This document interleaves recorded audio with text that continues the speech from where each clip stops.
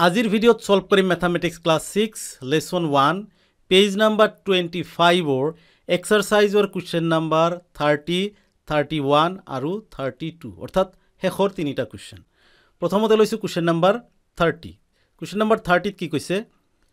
A shopkeeper sells twenty five KG of rice at the rate of rupees thirty five per KG on the first day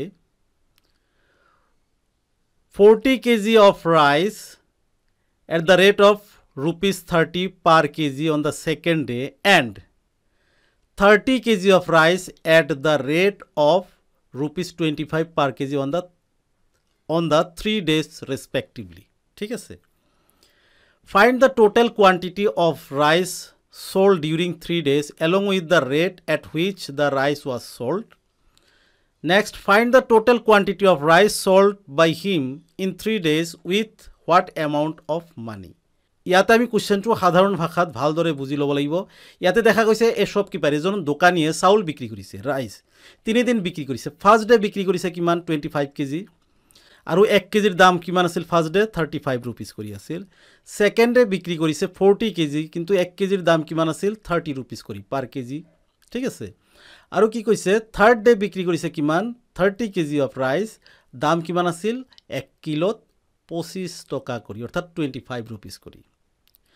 এতিয়া আমাক কি কৈছে? উলিয়াব কি লাগে? Find the total quantity of rice sold during three days along with the rate at which the rice was sold ইয়াতে কি কৈছে? যে find the total quantity of rice আমাক কি লাগে? তিনিদিনত কিমানখিনি চাউল বিক্ৰী কৰিলে সেই হিচাপটো লাগে। আৰু নেক্সট কি হৈছে? Find the total quantity of rice sold by him in three days with what amount of money কুৱেশ্যনটো অলপ দেখাত অলপ খেলি মেলি যেন লাগি আছে। আমি স্পষ্টভাৱে জানিব লাগিব যে ইয়াত কি কি কৈছে। প্ৰথম কথা হৈছে কিমান চাউল বিক্ৰী কৰিল তিনিদিনত সেইখিনি লাগে। মুঠ চাউলৰ হিচাপটো লাগে। আৰু মুঠ টকা কিমান বিক্ৰী হৈছিল মুঠ টকাটো লাগে ইয়াতে। ঠিক আছে? এই দুটা বস্তু আমি ইয়াৰ পৰা উলিয়াম। এতেকে এইটো আমি চেণ্টেঞ্চটো সজাব লাগিব। আমি কেনেকৈ সজাম? যে first day first day short ফৰ্মত লিখিছোঁ ৰাইচ চল্ট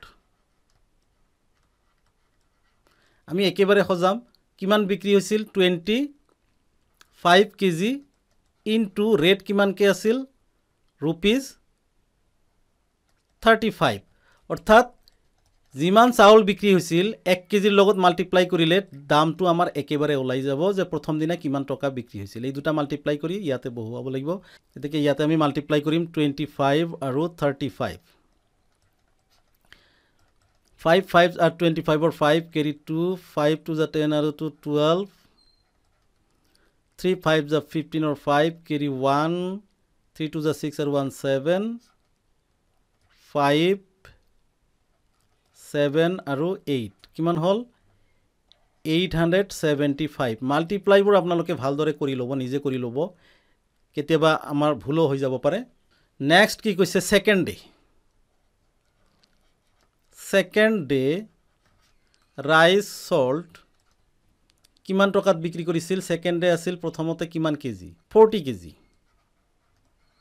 আৰু ৰেট কিমানকৈ আছিল? থাৰ্টি ৰুপিজকৈ আছিল। আমি কিমান টকাত কিমান টকা বিক্ৰী কৰিল ছেকেণ্ড আমি ইয়াতে উলিয়াই দিব পাৰিম। প্ৰথমতে থ্ৰী ফ'ৰ জা টুৱেল্ভ আৰু দুটা জিৰ' আছে জিৰ' দুটা বহিল। Rupees twelve hundred second day twelve hundred ৰুপিজত চাউল বিক্ৰী হ'ল গোটেইখিনি। এতিয়া থাৰ্ড ডে আমাক কি কৈছে? থাৰ্ড ডে ৰাইচ চল্ট প্ৰথমতে কিমান কেজি আছে? থাৰ্টি কেজি বিক্ৰী কৰিছে। গতিকে থাৰ্টি কেজিৰ লগত কিমান টকাকৈ পাৰ কেজি বিক্ৰী হৈছে? টুৱেণ্টি ফাইভ এইটো আমি ইয়াতে টুৱেণ্টি ফাইভ দামটো লিখিলোঁ। ইনটু কৰি দিম। টোটেল টকাটো ওলাই আহিব। কিমান টকাত বিক্ৰী হ'ল? টুৱেণ্টি ফাইভৰ লগত থ্ৰী মাল্টিপ্লাই কৰিলে ছেভেণ্টি ফাইভ হয়। আৰু এটা জিৰ' আছে এটা জিৰ' বহিব। ঠিক আছে? এইখিনি আমি এটা হিচাপ উলিয়াই থলোঁ। যদিও আমাৰ মেথছত এতিয়া এইখিনি নালাগে পিছত লাগিব। এই হিচাপখিনি আমাক পিছত লাগিব। এতিয়া আমাক কৈছে কি? দুটা পাৰ্ট আছে। ফাৰ্ষ্ট পাৰ্টত কৈছে টোটেল চাউল কিমান বিক্ৰী হৈছে? Find the total quantity of rice sold ঠিক আছে? আমি সেই টোটেল চাউলৰ হিচাপটো উলিয়াই দিম কিমান কেজি বিক্ৰী হ'ল। এতিয়া আমি লিখিম total rice sold total rice sold মুঠ চাউল বিক্ৰী হ'ল কিমান? প্ৰথমতে কিমান কেজি আছিল? First day twenty five KG আছিল। এইটো চাউলৰ ওজন। Plus second day forty KG. Plus third day কিমান আছিল? Thirty KG. এই তিনিটা আমি প্লাছ কৰিলে কিমান পাম? ফৰ্টি প্লাছ থাৰ্টি ছেভেণ্টি আৰু টুৱেণ্টি ফাইভ আছে ninety five ninety five KG চাউল তিনিদিনত বিক্ৰী হৈছিল ঠিক আছে? এটা হিচাপ আমাৰ ওলাই গ'ল অৰ্থাৎ এটা উত্তৰ আমি পাই গ'লোঁ। নেক্সট কি কৈছে? ট'টেল মানি মানি কিমান কৈছে? Amount of money total amount of money total amount of money আমি ব্ৰেকেটত লিখিম ইকুৱেল কিমান আছে? প্ৰথম দিনা কিমান টকা পাইছিল?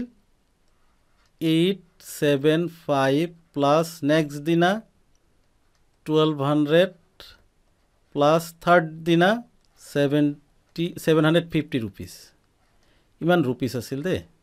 ৰুপিজটো বাহিৰতে লিখি দিলোঁ। এতিয়া এই তিনিটা প্লাছ কৰিলে আমি কি পাম? যিখিনি এমাউণ্ট পাম সেইখিনি আছিল আমাৰ উত্তৰ অৰ্থাৎ টোটেল টকা। ঠিক আছে প্লাছ কৰি লৈছোঁ।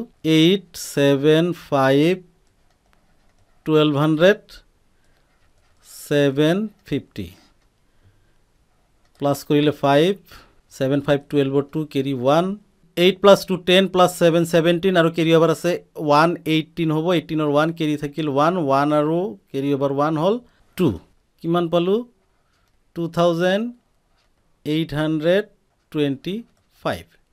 এই দুটা হিচাপ আমাক লাগে। এটা আছিল মুঠ টকা কিমান? এইটো পালোঁ। আৰু আছিল মুঠ চাউল কিমান বিক্ৰী হৈছিল? Ninety five KG. ঠিক আছে? এই আছিল কুৱেশ্যন নম্বৰ থাৰ্টিৰ আনচাৰ এতিয়া আমি চল্ভ কৰিম question number thirty one question number thirty ওৱানত কি কৈছে there are forty students in a school find how many litres of milk is required if two hundred fifty millilitres of milk is distributed to each of the students ইয়াতে কি কৈছে সহজ ভাষাত কুৱেশ্যনটো বুজি লোৱাৰ চেষ্টা কৰিছোঁ। এখন বিদ্যালয়ত চল্লিছজন ছাত্ৰ আছিল। আৰু এই চল্লিছজন ছাত্ৰক কি কৰিছে এজন ছাত্ৰক টু হাণ্ড্ৰেড ফিফটি এম এলকৈ গাখীৰ দিয়া হৈছে। Two hundred fifty M L two hundred fifty millilitres M L মুঠ ছাত্ৰ চল্লিছজন আৰু এজন ছাত্ৰক গাখীৰ দিয়া হৈছিল কিমান? টু ফিফটি এম এল কৰি বা মিলি লিটাৰ কৰি। তেনেহ'লে আমাক কৈছে যে চল্লিছজন ছাত্ৰক টোটেল কিমান গাখীৰ লাগিব বা মিল্ক লাগিব? আৰু সেই হিচাপটো আমাক কি উলিয়াব লাগে? লিটাৰ্ছত উলিয়াব লাগে দেই। এইটো ইম্পৰ্টেণ্ট কথা এটা কৈ দিছে। ফাইণ্ড হাউ মেনি লিটাৰ্ছ কিন্তু আমাক যেতিয়া ষ্টুডেণ্টৰ যেতিয়া গাখীৰ দিয়া হৈছিল মিলি লিটাৰ্ছত দিয়া আছিল সেই হিচাপটো ফাইনেলি আমি লিটাৰ্ছত উলিয়াব লাগিব। ঠিক আছে? ছল্ভ কৰিম অতি সহজভাৱে। প্ৰথমতে লিখিম milk required milk required for one student এজন ছাত্ৰক গাখীৰ লাগে। কিমানখিনি? Two fifty millilitres M L ঠিক আছে। এতিয়া মিল্ক ৰিকুৱাৰ্ড ফৰ কিমানজন ষ্টুডেণ্ট আছিল? ফৰ্টি চল্লিছজন milk required for forty students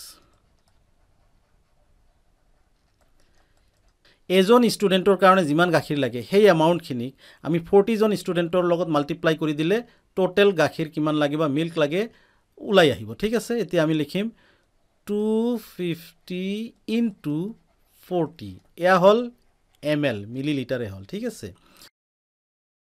এতিয়া এনচাৰটো কিমান হ'ব? জিৰ'কেইটা বাদ দিলে টুৱেণ্টি ফাইভ আৰু ফ'ৰ এই দুটা থাকে এই দুটাক আমি আগতে মাল্টিপ্লাই কৰি লওঁ। টুৱেণ্টি ফাইভৰ লগত ফ'ৰ মাল্টিপ্লাই কৰিলে হ'ব ওৱান হাণ্ড্ৰেড আৰু জিৰ' কেইটা আছে? ওৱান টু দুটা জিৰ' আছে দুটা জিৰ' ইয়াতে বহিব হৈ গ'ল মিলি লিটাৰ এয়া আমি উত্তৰটো ইতিমধ্যে পাইছোঁ যদিও কিহত পাইছোঁ? মিলি লিটাৰত পাইছোঁ কিন্তু আমাৰ উত্তৰটো লাগে লিটাৰত এতিয়া এই কামখিনি কৰিব লাগে ইয়াক আমি মিলি লিটাৰৰ পৰা লিটাৰলৈ কনভাৰ্ট কৰিব লাগে। আমি এটা কথা আগতে পাইছোঁ যে one litre equal one thousand millilitre হয়।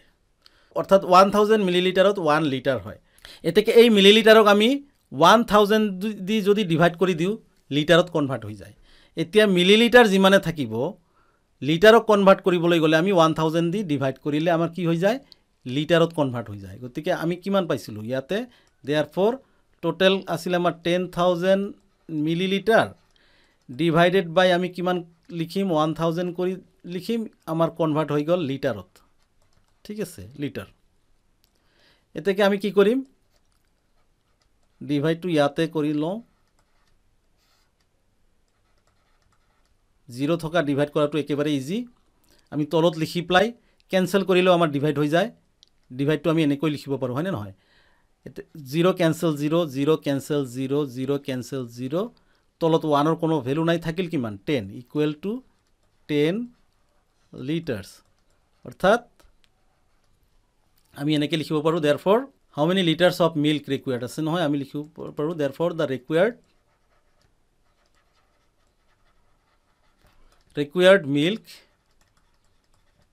equal 10 liters এয়া আছিল আমাৰ কুৱেশ্যন নম্বৰ থাৰ্টি ওৱানৰ আনচাৰ এতিয়া চল্ভ কৰিম আমি কুৱেশ্যন নম্বৰ থাৰ্টি টু অৰ্থাৎ শেষৰটো কুৱেশ্যন কুৱেশ্যন নম্বৰ থাৰ্টি টুত কি কৈছে?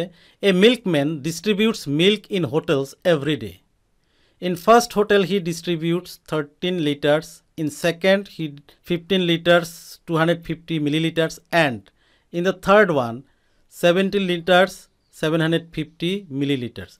Find how many liters of milk the milkman distributes every day. কথাটো কি কৈছে আমি সাধাৰণ ভাষাত বা সহজ ভাষাত বুজি ল'ব লাগিব যে এজন গোৱাল আছিল তেওঁ দৈনিক তিনিটা হোটেলত গাখীৰ দিয়ে। তাৰে প্ৰথম হোটেলত কিমান দিছে? থাৰ্টিন লিটাৰ দিছে।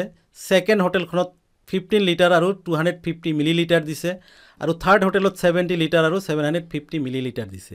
এতিয়া আমাক উলিয়াব দিছে কি যে find how many litres of milk the milkman distributes every day সেই মিল্কমেন বা গোৱালজনে দৈনিক কিমান গাখীৰ ডিষ্ট্ৰিবিউট কৰে বা দিয়ে তিনিখন হোটেল মিলি ঠিক আছে? অৰ্থাৎ মুঠ গাখীৰ কিমান দিয়া হয়? এতিয়া আমি কেনেকৈ উলিয়াম? মিল্ক ডিষ্ট্ৰিবিউট এই কথাখিনি আমাৰ নিজৰ ধৰণে আমি সজাই লিখিব পাৰোঁ। Milk distributes to first hotel first হোটেলত কিমান ডিষ্ট্ৰিবিউট কৰিলে সেইখিনি আমাক লাগে। কিমান আছিল? থাৰ্টিন লিটাৰ্ছ ইকুৱেল বুলি লিখিম আমি thirteen litres milk distributes to second hotel second হোটেলত কিমান দিছে? ফিফটিন লিটাৰ্ছ দিছে। ফিফটিন লিটাৰ্ছ আমি লিখিছোঁ। আৰু লগতে বাকী আছে কিমান? আৰু two fifty M L extra দিয়ে লিটাৰৰ পিছত। সেইটো এম এলত আছে। এম এল মিলি লিটাৰ অৰ্থাৎ মিলি লিটাৰক শ্বৰ্ট ফৰ্মত এম এল বুলি লিখিব পাৰোঁ ঠিক আছে? তেনেহ'লে ছেকেণ্ড হোটেলত কিমান দিল? ফিফটিন লিটাৰ দিল দিল আৰু two hundred fifty millilitres Dil. Milk distributes to third hotel তৃতীয়খন হোটেলত কিমান দিলে? ছেভেণ্টিন লিটাৰ্ছ দিলে। ছেভেণ্টিন লিটাৰ্ছ আৰু seven hundred fifty seven fifty millilitre দিলে। এতিয়া এটা কথা ইয়াতে মনত ৰখাটো দৰকাৰ যে লিটাৰ যে আছে লিটাৰ্ছ ইয়াতে দুটা একক বা ইউনিট আছে মিলি লিটাৰ আছে আৰু লিটাৰ আছে। লিটাৰটো আমি এটা ছাইডত প্ৰথমতে লিখিব লাগিব আৰু প্ৰত্যেকটো লিটাৰ আমি চিধা চিধি এটাৰ তলত আন এটা লিখাৰ চেষ্টা কৰিম। ঠিক আছে? তেতিয়াহ'লে আমাৰ মেথছটো ছল্ভ কৰা একেবাৰে ইজি হ'ব। আৰু মিলি লিটাৰৰ তলত মিলি লিটাৰ ইয়াতে এটা বস্তু দেখা গ'ল যেতিয়া আমাক টোটেল যেতিয়া আমাক গাখীৰ কিমান দিয়া হ'ল যদি উলিয়াব দিয়ে আমি কি কৰিব লাগিব? গোটেইখিনি প্লাছ কৰিলে হৈ গ'ল। আৰু আমি ধুনীয়াকৈ সজাই লিখিছোঁ যাতে প্লাছ কৰাত কোনো অসুবিধা নহয়। কিন্তু এটা কথা দেখা গৈছে ইয়াতে প্ৰথমটো যিটো আছে ফাৰ্ষ্ট হোটেলত অকল থাৰ্টিন লিটাৰ্ছ দিছে কোনো মিলি লিটাৰ্ছ নাই। আৰু বাকীবিলাকত লিটাৰ্ছৰ পিছত মিলি লিটাৰ্ছো আছে। যদি কোনোবা এটাত মিলি লিটাৰ্ছ নাই সেই ক্ষেত্ৰত আমি তিনিটা জিৰ' দি আমি মিলি লিটাৰ বনাই ল'ব পাৰোঁ। ভেলুটো একে থাকিল জিৰ'ৰ কোনো ভেলু নাই মিলি লিটাৰ মিলি লিটাৰে হ'ল। এতিয়া আমি টোটেল মিল্ক আমাক উলিয়াব দিছে। আমি যদি টোটেল মিল্ক উলিয়াব বিচাৰোঁ আমি কি কৰিব লাগিব? প্লাছ কৰিব লাগিব এই তিনিটা। ঠিক আছে প্লাছ কৰিম। ইয়াতে কিমান আছে? জিৰ' জিৰ' জিৰ' তিনিটা জিৰ' প্লাছ কৰিলে আমাৰ জিৰ'ই থাকিব। ফাইভ আৰু ফাইভ প্লাছ কৰিলে টেনৰ জিৰ' কেৰি ওৱান থাকিল। টু আৰু ছেভেন প্লাছ কৰিলে নাইন থাকে। নাইন আৰু কেৰি অভাৰ ওৱান টেনৰ জিৰ' কেৰি আকৌ থাকিল ওৱান এই ওৱানটো ইফালে যাব ঠিক আছে? থ্ৰী প্লাছ ফাইভ কিমান হ'ল? এইট এইট প্লাছ ছেভেন হ'ল ফিফটিন আৰু কেৰি অভাৰ ওৱান আছে ছিক্সটিন হ'ল। ছিক্সটিনৰ ওৱান ছিক্স বহিব কেৰি অভাৰ থাকিব one one plus one two plus one three আৰু কেৰি অভাৰ আছে ওৱান ফ'ৰ হ'ব। কিমান? Forty six. ইয়াৰ তলত কি হ'ব? ফৰ্টি ছিক্সটো যিহেতুকে আমি লিটাৰ্ছ পালোঁ ইয়াতে লিটাৰ্ছটো লিখি দিম। আৰু zero' zero' M L. Zero' zero' M L অৰ্থাৎ মিলিলিটাৰত একোৱে নাই ডাইৰেক্ট ৰাউণ্ড ফিগাৰ হৈ গৈছে ফৰ্টি ছিক্স লিটাৰ্ছ। তেনেহ'লে আমি লিখিব পাৰোঁ therefore total milk he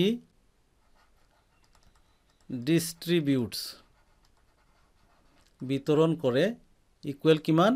forty six litres ঠিক আছে?